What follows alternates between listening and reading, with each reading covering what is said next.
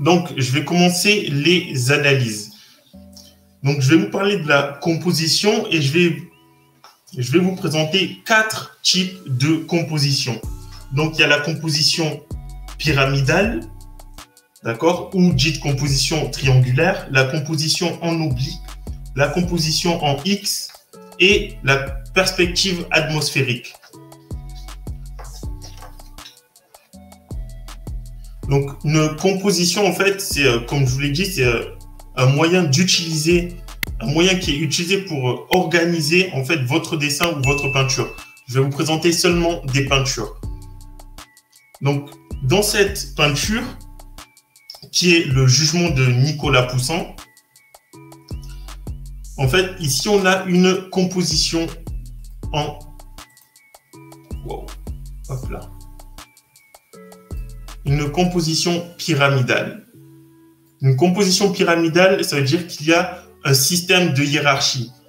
Les personnages qui sont en haut sont les plus importants et plus on descend et moins, et moins les personnages sont importants. Ici, on a une symétrie du haut vers le bas.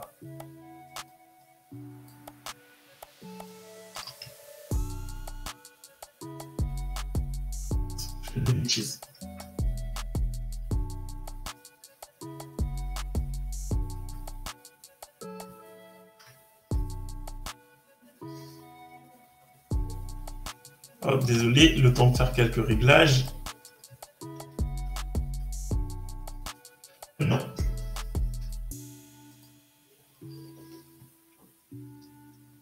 Donc, on retrouve ici une composition en pyramide. Une composition pyramidale. Ça veut dire que nos personnages, ici, notre personnage qui est euh, Salomon, donc c'est euh, la peinture, c'est le jugement de Salomon, qui était le roi des Juifs, qui se retrouve en haut de la pyramide parce que c'est le personnage le plus important. En bas, on a l'histoire. Donc l'histoire se déroule entre Salomon, qui est le personnage le plus important, et les deux femmes qui sont euh, la raison pour laquelle il y a tout cette, tout, euh, tous ces personnages ici. Donc les femmes se retrouvent dans la moitié inférieure. Derrière, on a les personnages ici, d'accord Qui sont des éléments de décor. Ils sont là, c'est euh, la foule, c'est le public. D'accord Donc les personnages sont, c'est ce qu'on appelle des personnages en frise.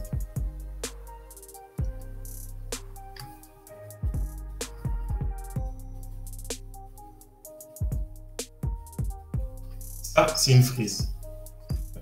On a la pyramide plus la frise pour les personnages, qui eux sont tous au même niveau parce que c'est le peuple. D'accord? Et en arrière-plan. Et donc, on a notre triangle qui englobe les trois personnages parce que c'est ici que se déroule la scène. Le, le, triangle veut dire que votre œil, en fait, va être attiré sur cet espace. Donc là, vous avez le personnage, d'accord? Votre œil attiré ici et là, sur les deux personnages.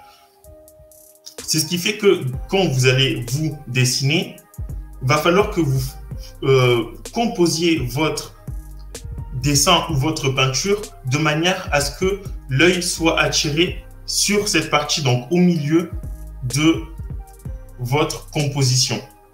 Et c'est ce que le peintre a mis en avant.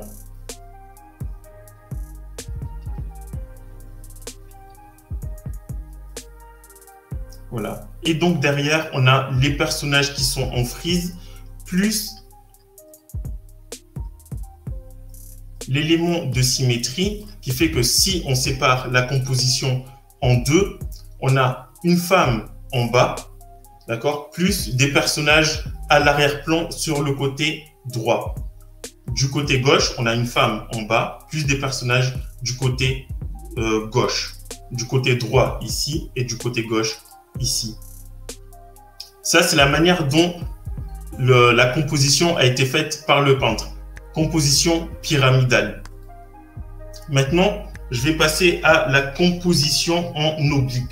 Pour le berger d'Arcadie de Nicolas Poussin, le peintre, et la peinture se trouve au Louvre pour les personnes qui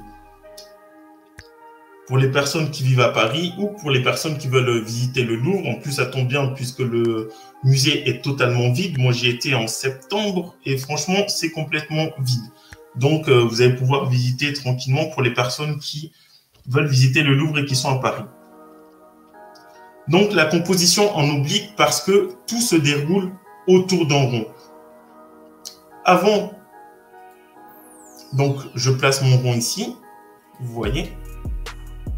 D'accord Toute la composition est faite de manière à attirer l'œil sur une partie du dessin. Le rond représente l'arbre ici. D'accord? L'arbre. Le personnage, ce personnage-là. Et euh, tous les, les quatre bergers, en fait. Donc tout ça, ça fait une oblique, un rond, dans laquelle se déroule la scène. Et vous voyez que par les mouvements, je vais vous montrer, par les mouvements, notre œil est dirigé vers le tombeau. On a le personnage ici qui regarde vers le bas. On a ce personnage qui tend sa main vers le tombeau. Ce personnage qui tend son bras vers le tombeau. Elle qui regarde vers le tombeau.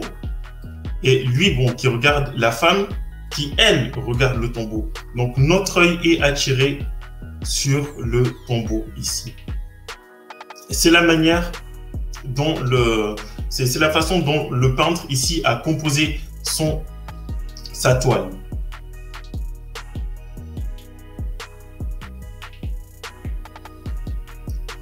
Voilà. Donc je rappelle, c'est Nicolas Poussin et la peinture se trouve au Louvre. Ici, on a une composition en X pour le radeau de la Méduse de Théodore Géricault, qu'il a peint en 1819, et qui se trouve également au Louvre. Peinture euh, extrêmement grande, franchement c'est très impressionnant, donc je fais la pub pour le Louvre. Pour les personnes qui n'ont pas vu le Louvre et qui vivent à Paris, allez-y, allez voir la toile, elle est vraiment magnifique. Et pour les personnes qui visitent Paris, allez-y aussi. Bref, ici on a une composition en X. Une composition en X, ça veut dire qu'on a deux lignes en diagonale qui vont se croiser.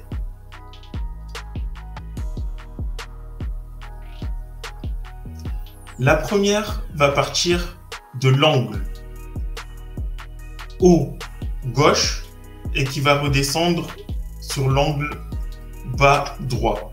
En fait, elle suit euh, la ligne ici du personnage qui est mort. Comme ça, hop. Voilà.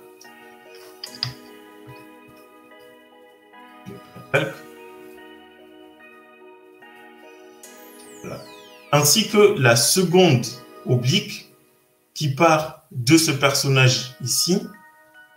D'accord? Donc du personnage qui est en haut, au droit, et qui redescend bas gauche.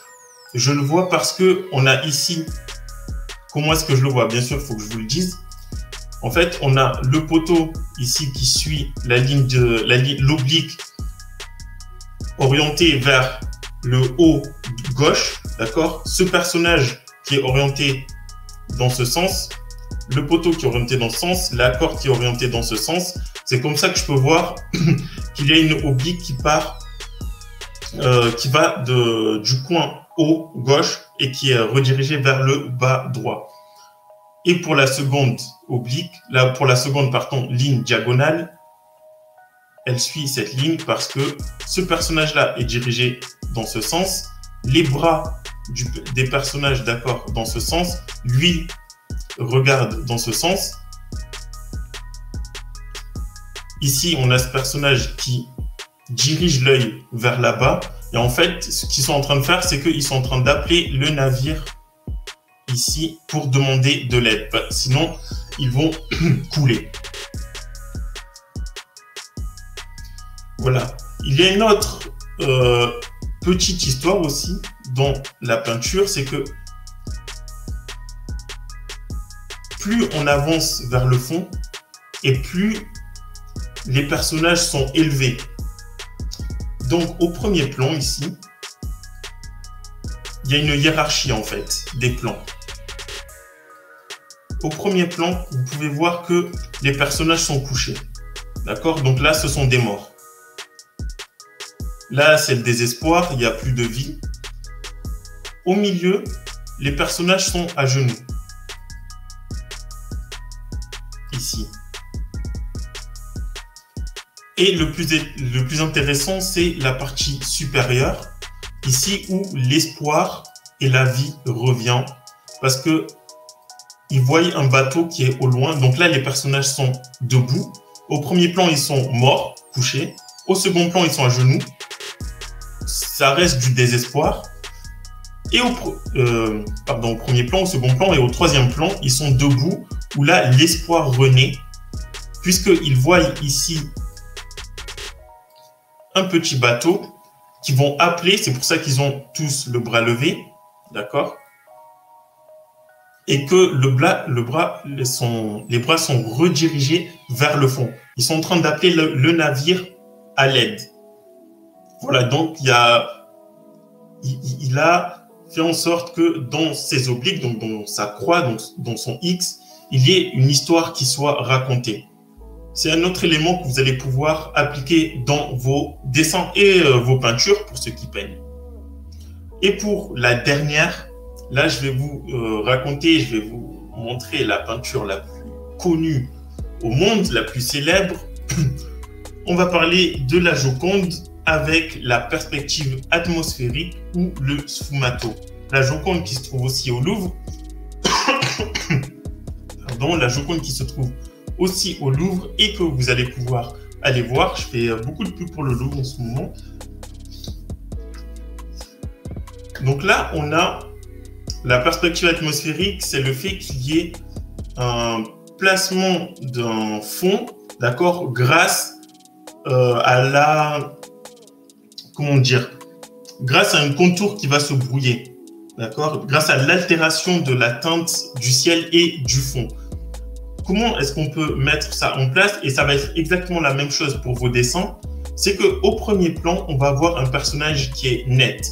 Vous pouvez voir ici, vous pouvez très bien voir les yeux, le nez, la bouche, le portrait du personnage. Vous voyez comme les mains sont extrêmement bien euh, détaillées.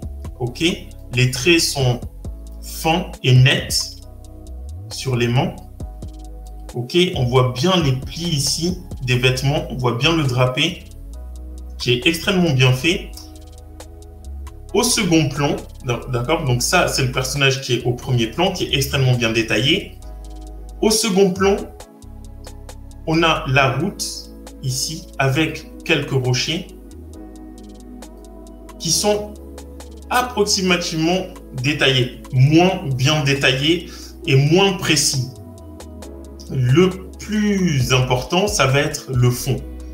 Sur le fond, on a ce qu'on peut appeler un sfumato. Un sfumato, ça signifie enfumé. Et là, à partir de là, on a une altération de la teinte du ciel. Ça veut dire que plus vous vous éloignez et plus le paysage va prendre la teinte et la couleur du ciel. Mais également, il y aura beaucoup moins de netteté, ce sera beaucoup plus, euh, beaucoup plus flou et euh, imprécis. D'accord? Et le ciel, le, paysage va se fondre dans, les, dans le ciel. Et ça va ramener le paysage au dernier plan. Donc ça va créer un troisième plan, un quatrième plan, un cinquième plan. Vous pouvez créer des plans autant que vous voulez si vous voulez avoir un paysage qui va à l'horizon. Donc à l'horizon, tout au fond, vraiment au loin, on va voir le paysage qui a la même couleur que le ciel. Et c'est ce qui amène, c'est ce qui va créer euh, l'horizon, c'est ce qui va créer les arrière-plans. Donc voilà comment est-ce que vous pouvez rendre vos dessins et vos peintures attirants. Comment est-ce que vous pouvez composer Là, je vous ai montré quatre manières de composer vos dessins, d'accord, et vos peintures. Il y en a d'autres si vous euh, voulez les euh, connaître, ben, allez sur mon site, prenez une formation et vous aurez toutes, euh, toutes les informations que vous devez avoir.